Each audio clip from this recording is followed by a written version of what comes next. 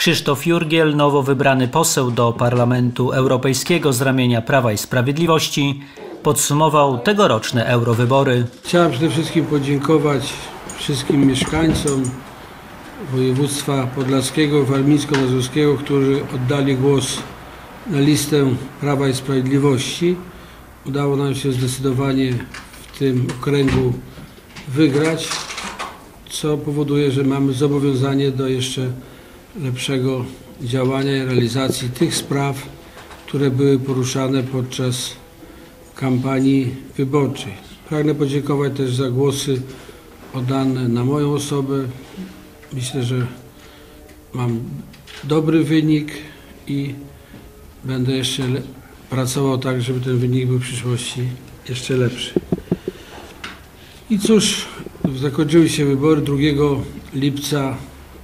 Y, Rozpoczynamy pierwsze posiedzenie Parlamentu Europejskiego, na którym będzie wybrany y, przewodniczący Parlamentu Europejskiego, a do tego czasu w poniedziałek już jadę do Brukseli, żeby po prostu przejmować powoli obowiązki posła Parlamentu Europejskiego, to znaczy y, tam ma, mam mieć każdy własny, własne pomieszczenie, sprawy socjalne i różne, podpisanie dokumentów, wniosków.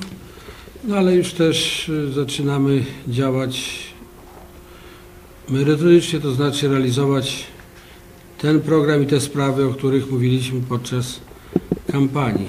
Jak wiadomo, Partia Prawa i Sprawiedliwość przedstawiła 12-punktowy program.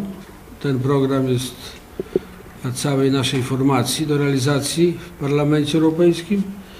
Ja natomiast mam dwie sprawy, dwa punkty, które będę też realizował, poza oczywiście wszystkimi sprawami wynikającymi z tego programu partii. To ta jest piątka dla województw podlaskiego i warmińsko-mazurskiego. To są te priorytety, którymi będę się zdecydowanie najwięcej zajmował.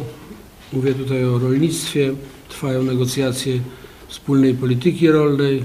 Dwa, ponad dwa lata pracowałem jako minister nad tymi dokumentami. Teraz będę miał możliwość jako parlamentarzysta Parlamentu Europejskiego y, też y, pracować nad pakietem legislacyjnym wspólnej polityki rolnej, a także polityki spójności. No, zamierzam ubiegać się o członkostwo w Komisji do spraw rolnictwa, a także do spraw polityki regionalnej, z którą związany jest drugi punkt, czyli sprawa nowego programu dla Polski Wschodniej. Siedem punktów, tutaj mamy siedem obszarów. To wymaga teraz y, pracy zdecydowanej. Po pierwsze, powołamy z posłami wspólnie zespół taki programowy na terenie tych pięciu województw. Zaproponuję, to już rozmawiałem wstępnie z posłami z innych y, województw Polski Wschodniej, taki zespół konsultacyjny, y, który będzie współpracował z zespołem parlamentarnym do spraw Polski Wschodniej, a także z marszałkami z poszczególnych województw, no i z rządem przede wszystkim, bo rząd jest y, wnioskodawcą tego programu, natomiast przypomnę, że zgodnie z, nowymi zasadami y, rząd y, wpisał w ustawie, że takie programy opracowują y, przedstawiciele czy, czy władze regionów, których one dotyczą i u nas w ramach y, Związku Województw funkcjonuje zespół do spraw programu Polski Wschodniej i tam jest y, upoważniony do jakby koordynowania tego marszałek